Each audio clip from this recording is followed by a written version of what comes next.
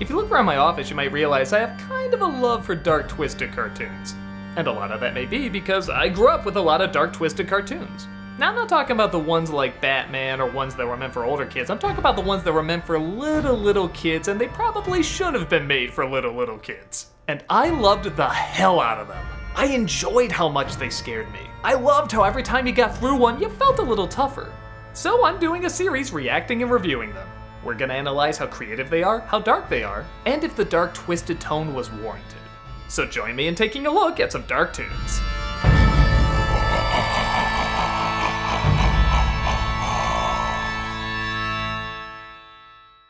You know, I was asking myself, does this count? Does this really count as an animated short? And then I realized it's my goddamn show, I'll do whatever I want. I want to talk about pink elephants on parade. This is a segment from the movie Dumbo, released in 1941. It's one of my favorite all-time Disney things ever. I'm so excited to talk about it. Let's take a look. So of course we should talk about one of the biggest things that gets brought up when the sequence gets brought up, uh, which is that your main protagonist, a cute little boy elephant, gets drunk. A pink elephant, of course, is a euphemism for being drunk, as if you get too schlockered, you, you know, apparently see pink elephants or, or you don't see right. Uh, but this sequence Anyone that's been drunk knows this is not drunk. This is what happens when you trip balls. But I guess back in the day, it wasn't as offensive to have your young main character get drunk instead. So, uh, okay, priorities? As many people brought up, there's not really a reason for this to be in the film except that Dumbo somehow has to be asleep in order for him to fly up into a tree. Uh, in fact, in many uh, children's books versions of this story, uh, they just have him fall asleep. He's sleepy, he falls asleep, he wakes up in a tree. All of this essentially is pointless. You don't need it. There's not even really much animation uh, indicating like he's dreaming and he's flying. That would make a little bit more sense. Uh, this is really just an excuse to do really cool animation and some great surrealism. And you can tell it left an impact because so many people reference this moment. Uh, Tiny Toons, Bob's Burgers, The Simpsons. Anyone that's like really into animation knows this sequence because it is just so creative and enjoyably freaky. You'll notice the elephants in this don't have any eyes. They just sort of have these black holes and it just emphasizes kind of like the surrealism of it, uh, especially being against a black background most of the time. So you don't even know, are they three-dimensional and you just can't see into their eyes or are they really flat and you're just seeing into the background there? What they do with line work and sort of that playfulness of it that doesn't have to stay in necessarily one realm. For example, you look at the elephants here, uh, they all have instruments, but they're all instruments that are somehow connected to their bodies. It's usually their trunks or their heads or their feet. I mean, just that alone, if you go back and slow it down and really look at the design of each elephant and the instrument they're playing and how it's connected to them, literally connected to them, uh, it's incredibly creative. Disney has clearly shown they're the masters of doing a very elegant, realistic animation, but there's also something to be said about the animation that just totally goes into the subconscious, doesn't care about rules, it just focuses on visuals and letting the mind really explode and explore, and I really feel like that's what something like this does, and that's why so many people remember it.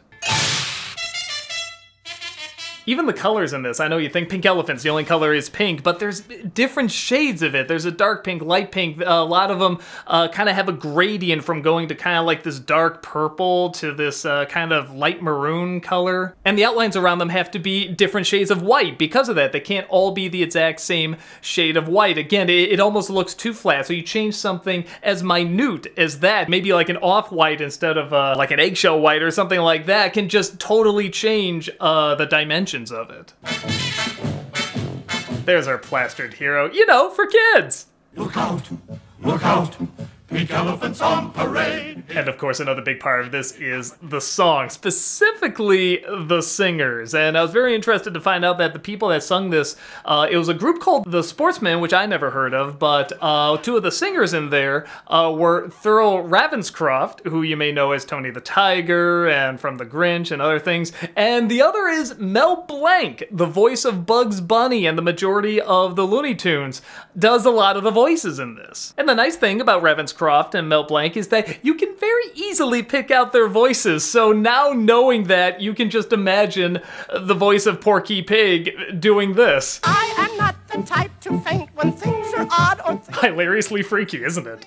I can stand the sight of worms and look at microscopic germs. The song was written by Oliver Wallace and Ned Washington, who had done a lot of Disney projects before. Uh, they had done things like uh, Pinocchio and Peter Pan and Darby O'Gill, so a lot of very memorable tunes. The section was directed by Norm Ferguson, who had also done a lot of very uh, surreal stuff for Disney. Uh, he did like Alice in Wonderland and The Three Caballeros and Fantasia. So again, he he had a background in doing very, very surreal stuff. They're walking around the bed on their head. I love this bed because you can't really tell what angle it's at because what's in the foreground is uh, looking a lot smaller and what's in the background is looking a lot bigger. So it's only when it starts twisting that you see the proper dimensions of it. Again, just anything to really play with what you're used to seeing and turning it upside down and on its head. Uh, it just does a phenomenal job on. What'll I do? What'll I do? That's straight out of a nightmare. That used to freak the hell out of me.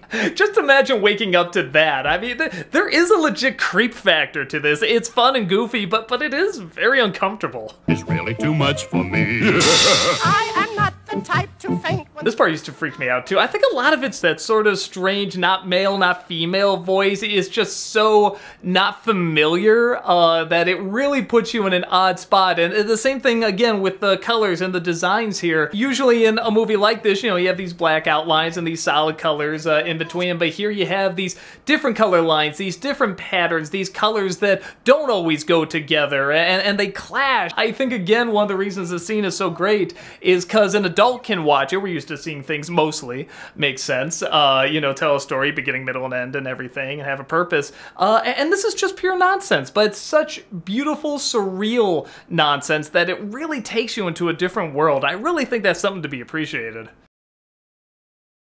can certainly give you an awful fright. What a sight! Look at that thing. Come on, that that's a work of art.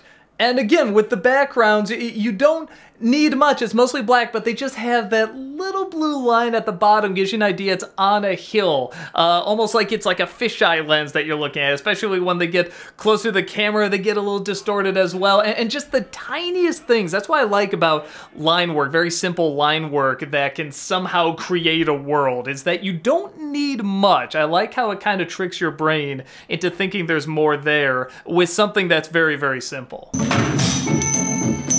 And this always drove me nuts. Why does the camel elephant have his pupils? Why does he have eyes? That always drove me insane. What is so special about the camel elephant that's warranting that? But again, I think it's just trying to keep you uh, unaware of what's coming next. I mean, it keeps the excitement in there. I mean, even something as simple as just giving that one eyes, and yes, why? I mean, maybe you're not verbally saying it, but in the back of your mind, you're like, why does that one have real eyes? I mean, just little cues like that. And this is something right out of a dream. The trunk becomes a snake, the snake becomes the dancer, the dancer just becomes the belly, the belly becomes an eye. And I think if it did play more into the story, it would not be as surprising. You would kind of figure, oh, maybe the visuals are going to go this way next because it's going to tie into, again, him flying or something like that. But by just going completely off the rails, uh, it just keeps it uh, more and more surprising where you don't know what's coming.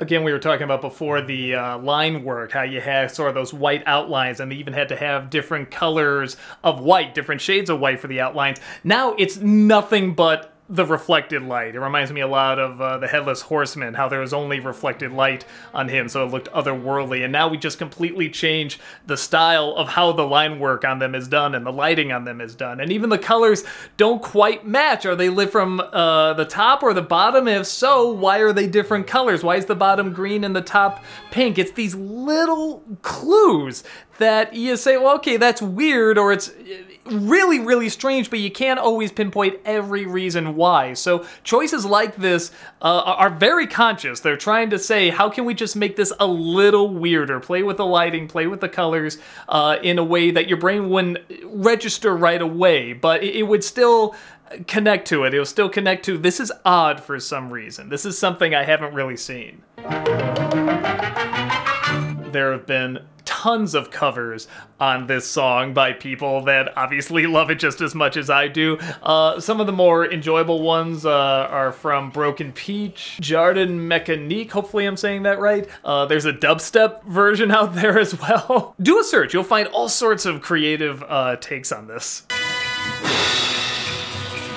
This is where it gets a little bit more standard Disney. It's not uncreative, but it's just kind of elephants dancing and having fun. That There's not as much playing around with line work and uh, uh, surrealism here, but the way it wraps up is pretty insane, so uh, that's fun maybe the idea was to lure you into more of a calm, relaxed uh, kind of setting. You know, you had them kind of skating to nice music, and then you have them doing a nice little like samba dance, and then just suddenly pure chaos with the lights flashing and the backgrounds changing color and them changing into different. Uh, uh, vehicles and trains and stuff like that, and loud noises and explosions and such, and finally just amounting to one big kaboom.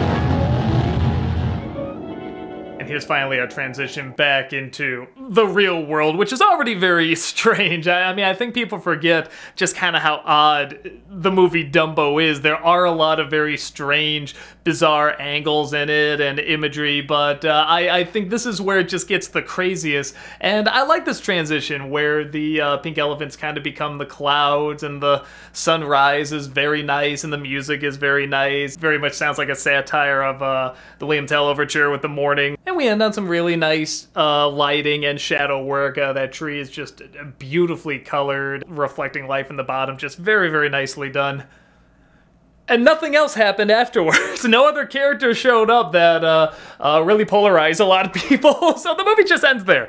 Man, I love it. I think there's a reason so many people reference it and remember it and are kind of fascinated by it. Uh, even for a movie as strange as Dumbo, uh, with all the surreal imagery in it, uh, this one stands out the most. This one just goes the most crazy. Because I know a lot of you are going to ask it, I might as well talk about uh, the Pink Elephant sequence sequence from the Tim Burton version, uh, which clearly is not as impressive, but to his credit, uh, I think he and Disney knew they couldn't do something like this. You can't have the main character get drunk. You can't have him get high. You can't have any of that happen.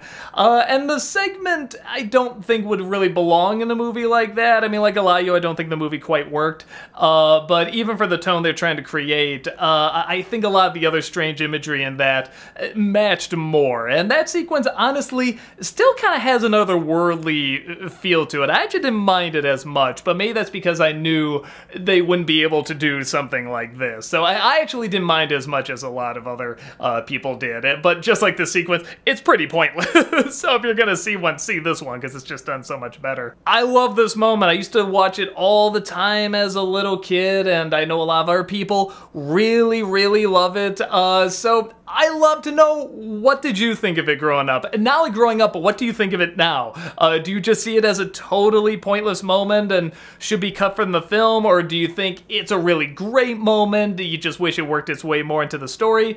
Or do you think it's a great moment, just shouldn't have had him getting drunk at all? Or do you think it's perfect the way it is. It's nice that it doesn't connect to anything else in the story. It's kind of this little escape after all uh, the other unpleasantness that's going on with like the mother in the story and everything. So, uh, I love it just the way it is. I just absolutely love this sequence. I think it's fantastic. I think there's so much that can just open up the imagination, your creativity just by watching it and, uh, you know, looking at the line work and the colors and stuff. So if you're ever looking to just open up your imagination, this is a good sequence to watch.